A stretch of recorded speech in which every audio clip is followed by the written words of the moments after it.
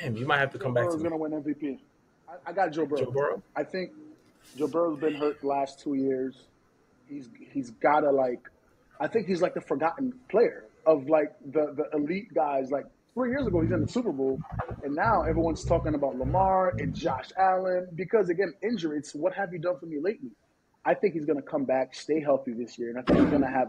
They don't have Joe Mixon, which means they're going to throw the ball a lot more than they. And even like in in the the running backs that they have now, they're receiving backs. Like Zack Moss is a receiving back. Zach Brown is a receiving back. I think Joe Burrow is going to put up monster numbers, and that team is going to be again competing for that AFC North. And I think he'll be he'll be the MVP this year.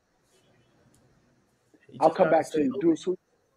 Just got to stay healthy. That's it. So I think mm-hmm. he's probably going to try to go for an MVP season this year, along with try to go with a three peat. But we trying to knock all that off tomorrow.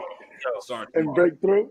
Yeah, but yeah, I think I think I think I, I like um Lamar and Mahomes, and then I like over in the NFC I like uh, even that Friday game, Jordan Love and and Jalen Hurts Jalen Hurts. battling out for that um MVP over MVP. there.